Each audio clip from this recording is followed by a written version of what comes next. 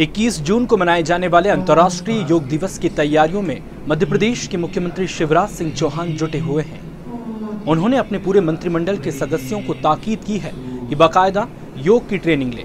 CM house में दो दिनों का प्रशिक्षण शिविर भी चल रहा है। हालाँकि सोमवार को बाबूलाल गौर, उमाशंकर गुप्ता भूपेन्द्र सिंह समेत सिर्फ़ 10 मंत्री ही पहुँचे। योग केवल पॉलिटिशियंस के नहीं, पॉलिटिशियंस के लिए नहीं, सबके लिए ज़रूरी है।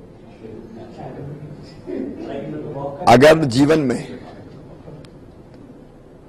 हमको जितनी हमारी आंतरिक क्षमता है, उसका प्रकटीकरण करना है, अंग प्रत्यंग का व्यायाम करना है। उम्मीद की जानी चाहिए कि मंत्रियों की न केवल शारीरिक सेहत, बल्कि राजनीतिक सेहत से भी जुड़े इस आयोजन में मंगलवार को ज़्यादा से ज़्यादा भागीदारी होगी। भोपाल से दैनिक भास्कर डॉट कॉम की report. Hello, this is Amitabh Bachchan. You're watching Bhaskar.com. Keep watching and enjoy.